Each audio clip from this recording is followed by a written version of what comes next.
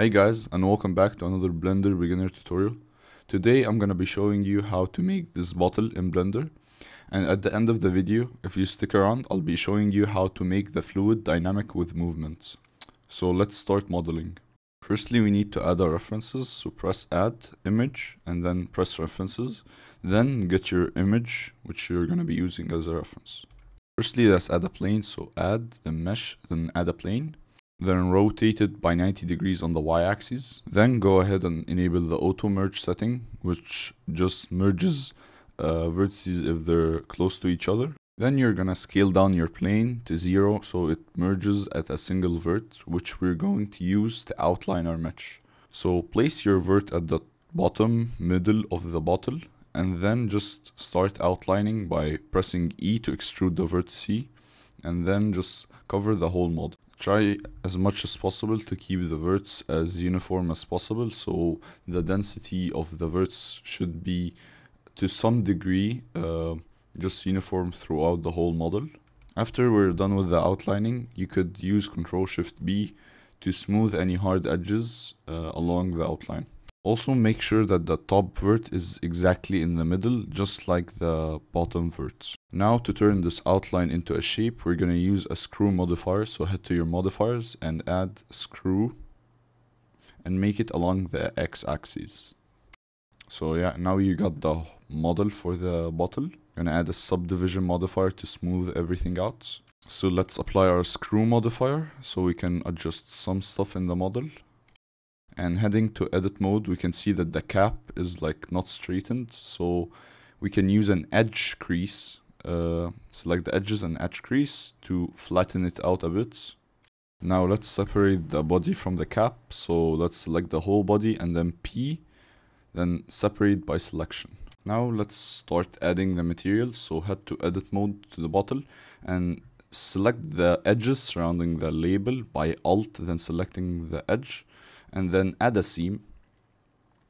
So let's go to the materials make the plastic material. Let's name it plastic.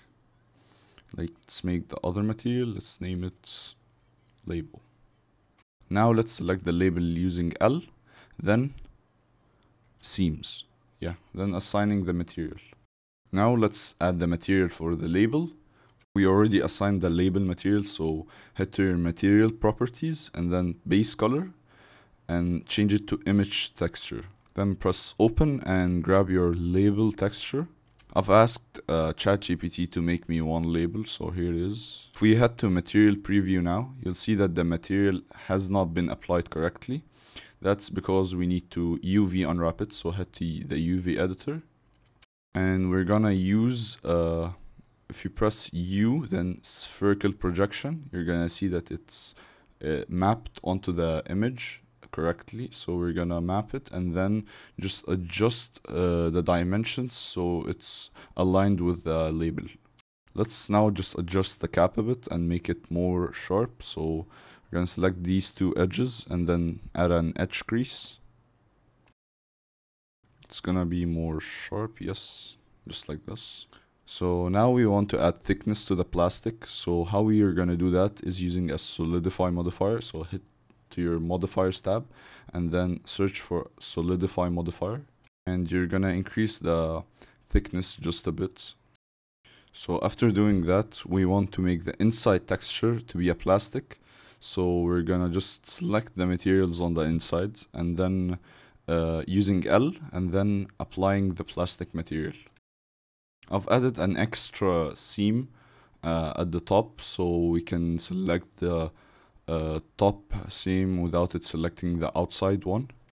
And then I selected the outer faces pressed ctrl I to deselect them. And here I have the inside so I applied the plastic texture.